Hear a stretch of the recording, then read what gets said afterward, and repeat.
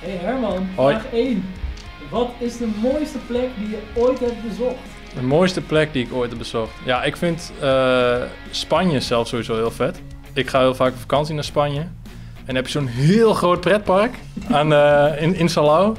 Ja, en daar ben, ik, eh, daar ben ik wel een beetje verliefd op geworden toen ik daar in zomer 2019 een week was. Dus dat is denk ik wel een van de mooiste plekken waar ik ben geweest. Lekker in de zon. Ja. Wat is je favoriete feestdag en waarom? Ik heb echt niks met feestdagen. Ik weet wel dat kerst mijn minst favoriete feestdag is. Same. Maar ja, qua, qua feestdagen. Ja, ik vind Koningsdag gewoon altijd wel gezellig. Lekker met, eh, met allemaal kraampjes op straat, weet je wel. Vrijmarkt, dat is wel lachen. Als je een levenslange voorraad van één product zou mogen kiezen, wat zou dat dan zijn? Deze vraag komt bekend voor. Ja, die wil wel eens gaan. Ik, eh, ik ga dan denk ik ehm, voor iets wat, eh, wat Aard ook al zei. Dat is een leven, levenslange voorraad aan, eh, aan gitaren, denk ik. Dat lijkt me wel heel lekker. Of?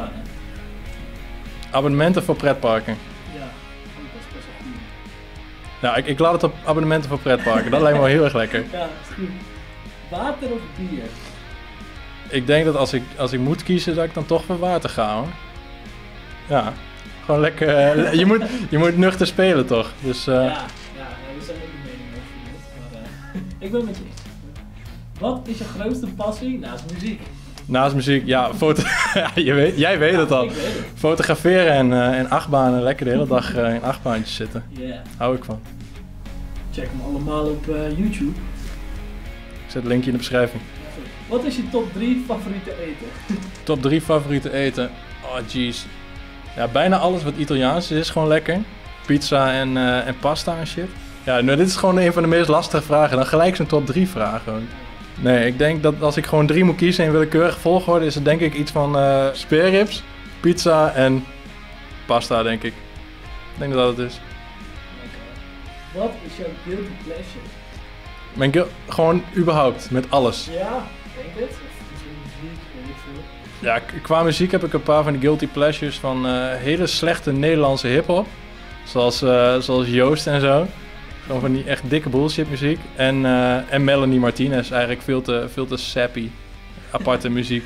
Die, je- die je eigenlijk niet helemaal kan plaatsen, maar dat is ergens gewoon heel erg lekker. Rood, groen of paars?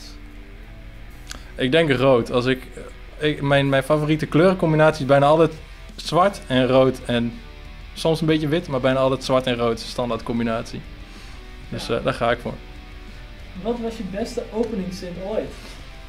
Oh. Ja, kijk, weet je wat het is? ik heb nooit echt openingszinnen gebruikt. Het begon, ik begon bijna altijd gelijk over iemands muzieksmaak of zo. Ja. En dat is eigenlijk gewoon, het, ik begon altijd heel erg cheesy. Ik ben nooit zo van, eh, nee, want ik, dat, dat is gewoon niet ik. Goed, de laatste vraag alweer. En deze komt eigenlijk gewoon elke week terug. Welke droom wil je met Jetlag Jenny verwezenlijken? Ik weet niet of iemand anders dat had gezegd van ons, maar een van de, van de gaafste dingen lijkt me toch wel een Nederlandse clubtour om mee te beginnen. Ja, lekker en uiteindelijk, eh, ja, festivals in de zomer, dat lijkt me gewoon heerlijk. Niet eens per se iets heel concreets, maar gewoon lekker veel spelen vooral. Mhm. Heel veel mensen blij maken. Uiteindelijk mensen met ons shirtjes zien lopen. Ja, gek. Dat zou vet zijn. Goed, dat was hem weer. Dankjewel. Volgende week eh, ben ik zelf aan de beurt. Volgende week gaan we pakken. Ja, oeh. Maak het juicy. We maken hem juicy. Tot de volgende keer. Vergeet niet te abonneren. Daar. Oeh. Mooi.